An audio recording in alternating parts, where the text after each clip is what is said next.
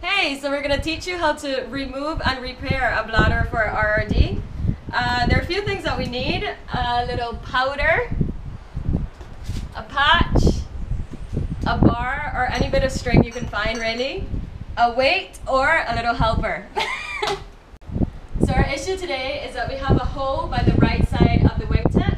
So what we're going to do is we're going to pull out just one edge of it, not the whole bladder. So we're going to go through a few steps with you. Uh, the first thing that we want to do is to disconnect uh, the valves and the valves from the strap. So first what we're going to do is we're going to pull these valves in. So here we have one. oh my finger man.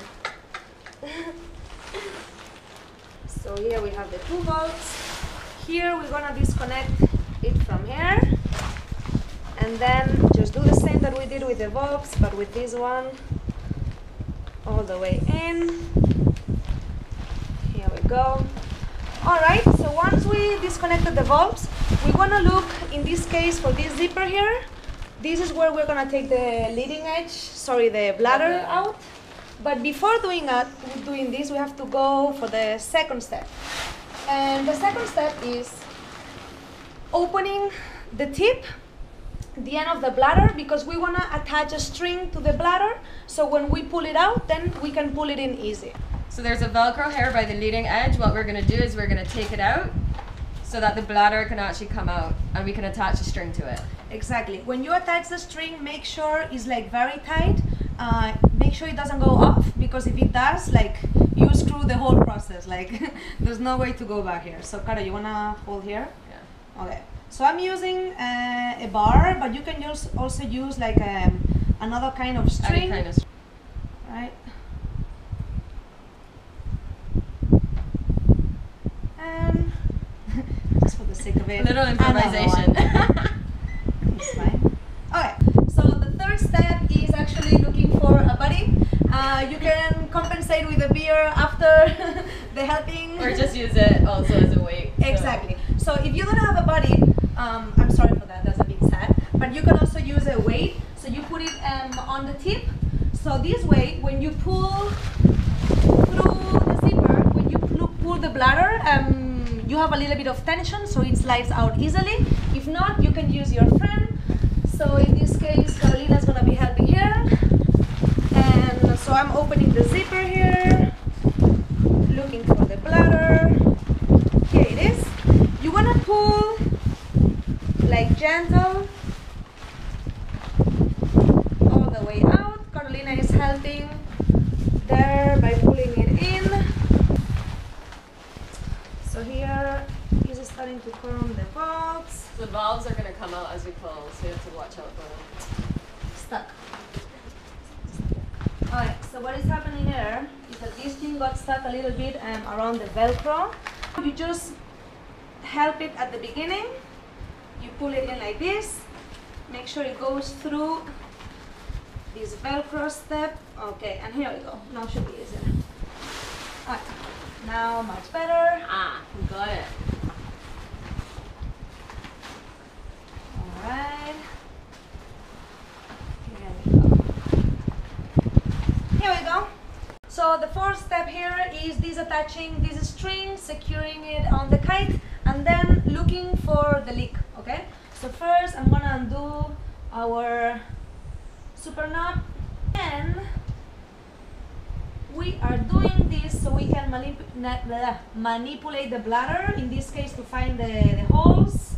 Now you have the string, the line coming out from here, right? You want to secure it somewhere uh, to make sure it doesn't slide in because if this happen again, uh, very difficult to pull it in again, okay? So I'm just going to use this elastic here, for example, and just do like a simple knot Just just, to to make sure, it, yeah, yeah. just to make sure it stays here while we repair this. And Caro, how are we gonna find the, the hole here?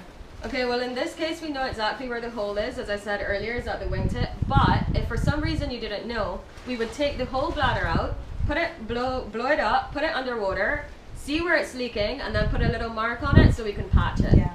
It's not a bad idea to do it even though you know where the hole is, just to make sure there's not other holes, Yeah. but today we're feeling a bit lazy, we're not doing it.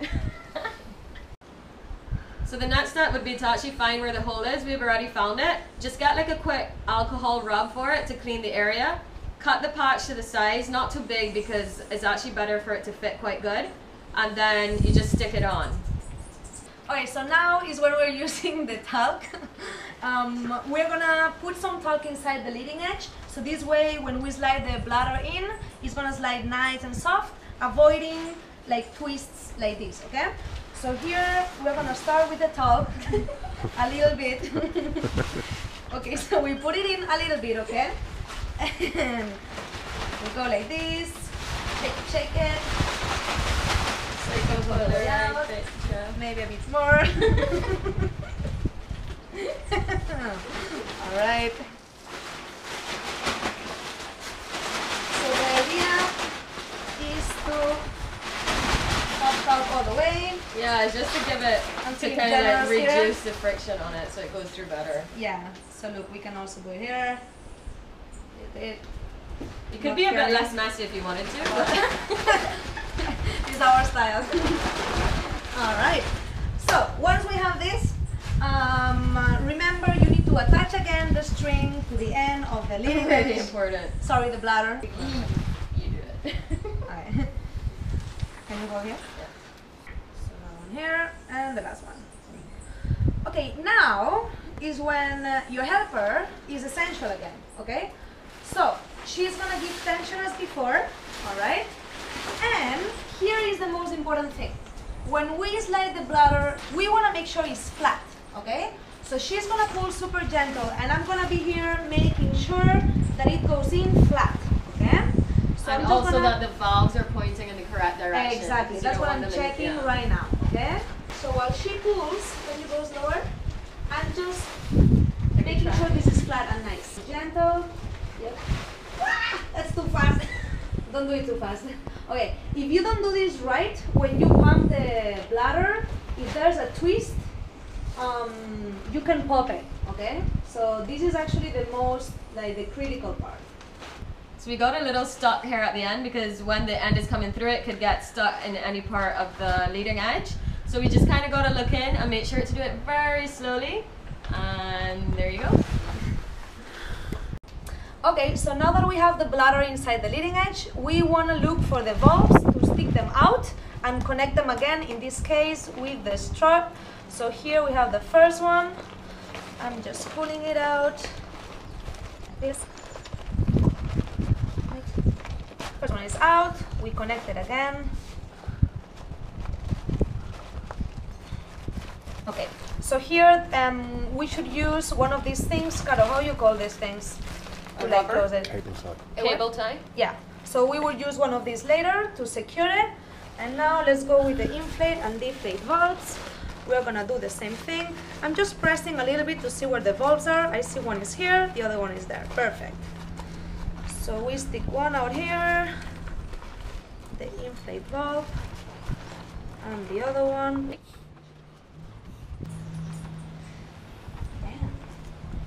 Okay, patience is the key, huh? It's good to have the price next to to keep the motivation up.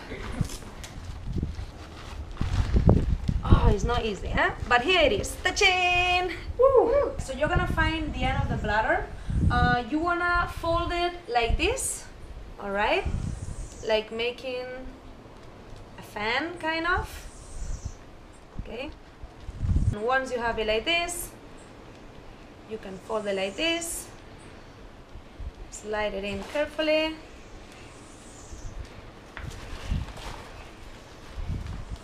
Okay. This step is important too because if you do like if you don't do it properly here, when you pump it, you can it can create like a bubble somewhere and it can pop. Okay, so make sure inside is flat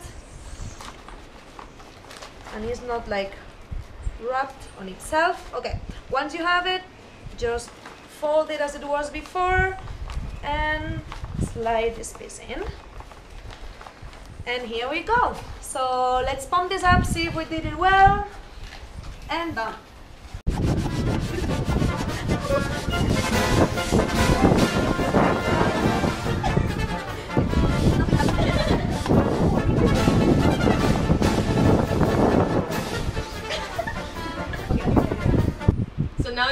Make sure that there's no leaks. So sit back, relax,